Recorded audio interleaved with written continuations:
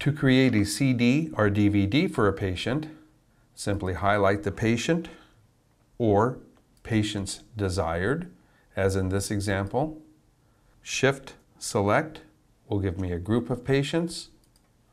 Control Select will allow me to choose patients or simply selecting one patient to burn to the CD or DVD. Create CD DVD will launch the process and it will also open the CD burning window. Simply place a CD into the CD burner and select burn.